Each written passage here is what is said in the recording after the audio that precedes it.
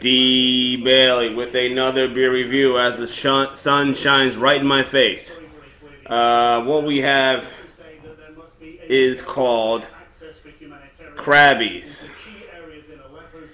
And it is original alcoholic ginger beer. And this beer comes to us at 4.8% alcohol by volume. It says best served chilled over ice with a slice of lime or lemon. Well, folks, today I'm not going to be doing any of that. I'm just going to taste it straight up in my taster glass that you have all been accustomed to seeing. So let's give this a try. Now, who's the brewery? Um, produced and bottled by Halewood International Ltd. The Sovereign Distillery. I can tell you my life is better knowing that. Let's give it a pour. Well, I'm going to taste, I'm going to smell the aroma too. Ooh, it smells like ginger. Now, before I taste, I want to tell you today, just like yesterday, I was avoiding traffic. I was on 42. It was going very slow. As the slower we went, the more tired I got.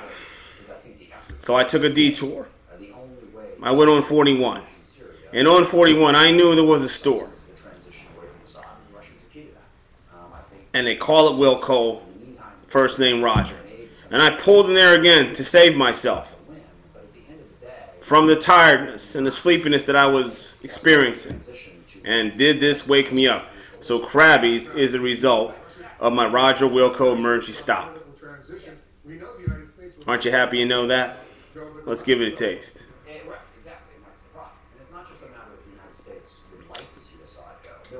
Oh, ginger it is. It is not bubbly, too bubbly, not over fizzy. You can taste the ginger. Wow. To me, this tastes just like ginger beer. It tastes better than ginger ale, actually. I prefer this over ginger ale. Ginger ale, sorry. Oh, good God. My tongue is tying today. But, I know you're asking this question, and I do have the answer. And yes, this is a ginger party in your mouth and you're going to enjoy it if you like ginger. I enjoy it. I tasted it. I liked it. I don't know if I love it because it's sweet, but if I want some ginger beer, I want this. Give it a try. Crabbie's original alcoholic ginger beer. It is malt. It is a malt beverage brewed with natural flavors and caramel color added. I can tell you that makes it great. I guess. Give it a try. D. Bailey.